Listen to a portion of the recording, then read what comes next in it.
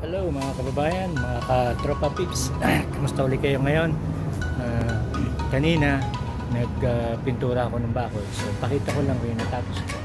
Uh, sa mga followers ko nga pala, welcome again sa YouTube channel ko, may vlog, Buhay Amerika. And sa mga bagong subscriber, uh, welcome, welcome sa inyo. well, medyo pagod na naman tayo kasi maghapon na naman tayo nagtrabaho dito. Well uh, medyo madali lang din naman. Kanina mag, makulimlim tapos biglang uminit. So medyo na nahan tayo ng lalamunan sa inom ng uh, konting tubig.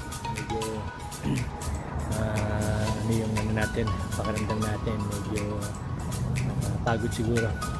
But anyway uh, welcome again. Sana na papakita ko ngayon yung uh, anong natapos ko na. At least uh, siguro 95% I'm almost done dito sa pagbabakod ko.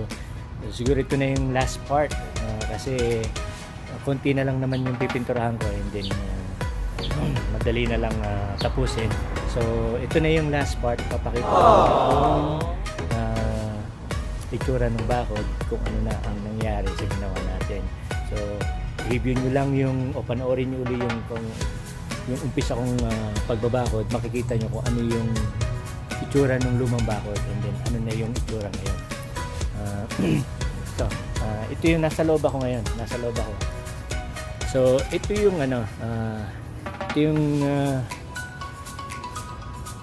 konti na lang. Siguro, uh, hindi na uubos ng uh, what, 1 gallon ito ng pintura. So, yan yun. Ito yung ginawa ko bakod. Then kung uh, i-review nyo, papanoorin nyo li yung uh, pag uh, pressure washer ko ng uh, bakod ko noon ng isang araw, makikita nyo kung gaano kalinis, nalinisan yung bakod. Kasi uh, na, parang naluma siya. Pero ito na siya ngayon. Ito yung nasa labas. Yan. Yan na siya ngayon. Yan. Hanggang doon. Oh. Pinturahan na. Hanggang doon. So ito yung uh, uh, inumpisahan ko kanina kasi may kahapon doon ako nagsimula eh. Papunta rito. So half half ng fence tinuloy ko kanina mga bandang alas 2 medya. Oh, I'm sorry. It's uh, 12.30 kanina. So yan. Hanggang doon na. So may konti na lang na sa bandang baba. Actually, madali na rin naman yan uh, remedyoan. So, kasi kanina huminto na tayo dahil naglaro tayo ng basketball. so, yan yung natapos na. Kung makikita nyo. so, i-review nyo lang yung uh, part ng uh, pressurized washer ko yan eh. Yan yung old fence ang uh, itsura niya dati ganito. Yung kulay niya ha papakita ko lang. Yun sa kapitbahay. Ganyan ang itsura niya yung kulay dati. So pinressurize washer ko nilinisan ko. And then pagkalinis nun nagmukha siyang parang ganito. Nung na-spray ko na. Yan. Bumalik uli sa dati yung kulay niya lumabas yung tunay na kulay nung, nung kahoy. Naging ganyan and then pininturahan natin. O pininturahan ko So yan siya. And then ito yung sa gilid, yung inumpisahan ko nung yan. Yan na siya. Yan. Makikita oh, niyo. yes, Daddy. So, so the whole uh, around the uh, house. Yan yung, uh, ito yung sinimento natin. Yan. Yan, sinimento yan. So it's not perfectly perfectly uh, done correctly or uh, hindi naman magandang maganda. Sabi ko nga hindi tayo professional uh, laborer pero pinipilit natin uh, ayusin yung trabaho natin. So yan ito yung sa bandang gilid. So meron pa akong konting uh, ito yung awang dito. So ikakat na lang yan para isusukatin ko it's a small uh, piece of uh, ano na lang yan wood para maayos. But anyway So ito na yung last part ng uh, pag uh, ko. Sa ilang linggo rin. Kasi pahinto-hinto tayo. Ulan, tapos init, araw, ganun. Minto-hinto tayo. Anyway, yun yung ah, puno ko ng ah, apple again. Nalalaglag lang siya. Ano? Oh no! Marami siyang bunga. So, sa loob na lang yung ah, what 5% 5% na lang hindi na pinturahan so yun na. Yun yung bakod. Yan. Yan.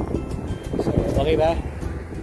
Okay ba mga kababayan? Mga protopics so sinadya tsaga-tsaga lang natin na inayos dito sa loob. Actually gumawa ako maliit na papakita ko lang sa inyo. Nung ginawa ko to may maliit akong ginawang access para sa tao lang. Kasya sa isang tao. And then dito kabila meron din.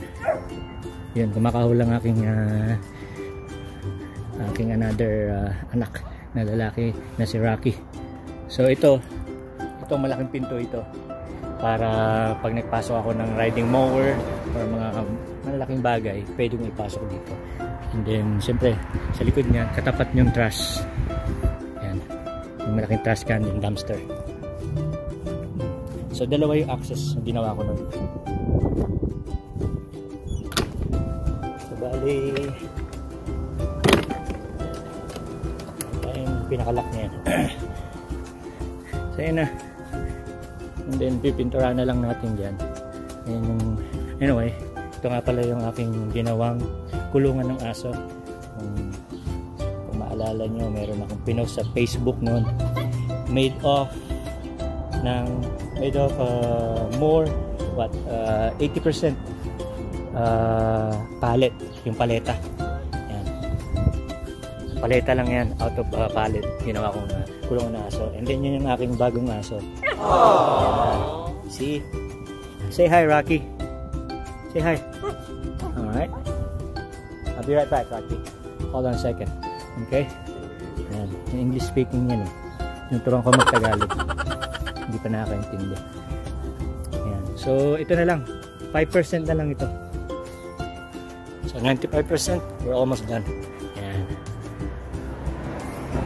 tapos na. Ayan. kita niya. Konting linis. Konting linis na lang and then uh, pintura. Tapos na. So hanggang dito na lang yung ating uh, pagbablog tungkol sa bakod. So sana may mga matutuhan kayo sa mga trivia ko yung mga pupunta natin sa Home Depot yung mga pagbili natin ng materyales uh, may mga pointers tayo paano ginagawa or hinahawakan. Kinaklamp yung bakod na mag-isa ka lang nagtatrabaho walang kasama paano mo gagawin? Sana may natutuhan kayo. Sa mga bago na hindi pa nakapanood yung unang video ko paano ako paano ko sinimulan tong pagbabakod? Panoorin nyo.